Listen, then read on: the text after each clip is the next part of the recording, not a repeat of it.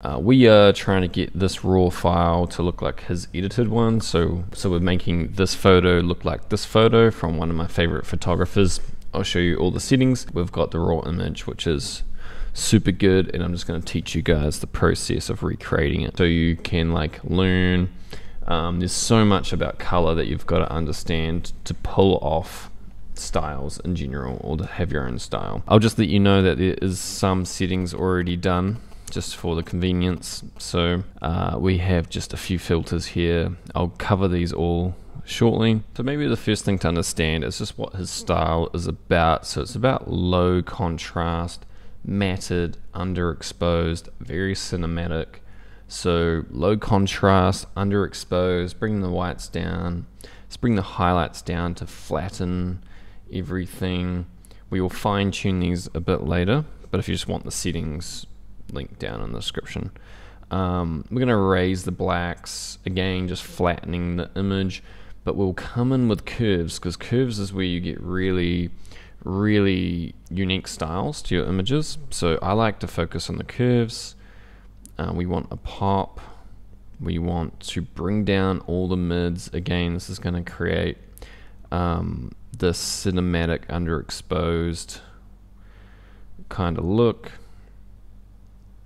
And then in this curve, we've gone for a curve like this. We want a little bit of fade to the darkest areas, just a little bit. We don't want it to the black blacks.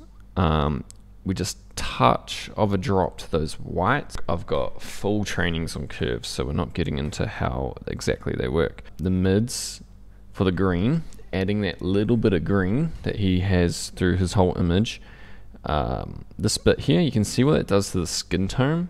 We're bringing in those purples to balance those greens in the mids. Uh, really helps with skin tones and keeping your blacks kind of black, not letting them get too much of a crazy um, color. Uh, keeps them rich as well. Mids for a bit of a glow throughout the highlights, mids sort of area. Okay, so now that's like the important curve adjustments. Editing is all about bouncing around to different uh, tools. Um, let's expose more.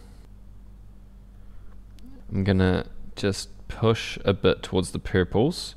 There's probably a pretty big green cast throughout the image. He's shot with a good white balance of 5600.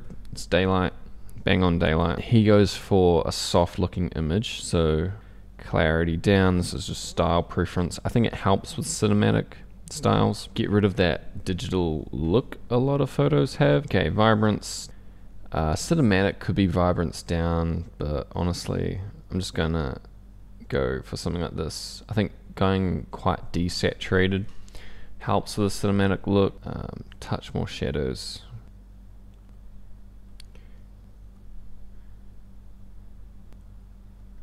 Looking pretty good. Let's do some split toning. So split toning, I think, is the um, where he gets his colors the most. So obviously those green tones, we want the green tones. He always focuses on the whatever the main color is in the photo. He tries to bring that out with his editing. So green in the shadows, and then in the highlights, just a cool blue now we've got this nice greenish blue going on. And then the purple we added down here. So we pulled out green. So this helps us add green but not get too much green like in the blacks and stuff. So again, that's another reason to do that. Uh, we're gonna be looking at skin tone, playing with the reds and oranges.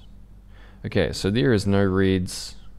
There's very little reds. So what I'm just gonna come do, come do is just shift. I'm gonna shift the primary over to here and that massively helps with um, skin tone. Again, pulling out those greens that we added in. We want greens, but we just don't want, we want to keep them in the mid-tones. That's what's going to look way more natural. Okay, and then our skin tones look pretty sweet after that. You could play with this. Do we want to touch more oranges? Yeah. The greens, I'm going to go towards this bluish color and then um, subtracting colors is actually it, it's really surprising like this just it takes a lot of practice to go to know like to when to subtract a color um, yep let's make skin tones pop and then up give a shine give a glow to the yellows pop. You can see what that does. And then deepen the greens. Yeah, I'm to go for the deeper look. And up. Okay, um, as for sharpening, keep 40. I'm not going to do profile corrections. I think he has a slight vignette around his image. Uh, grain, I'm going to go 30. I'm going to keep the size down and roughness up. I think that's just the type of grain he goes for. Okay, and then I didn't show you the filters I've already done. So all that I'm doing here is just very slightly bringing out the subject. Um, I think we could maybe highlights down a touch just to keep not those whites from really blowing out. I think almost we blew them out.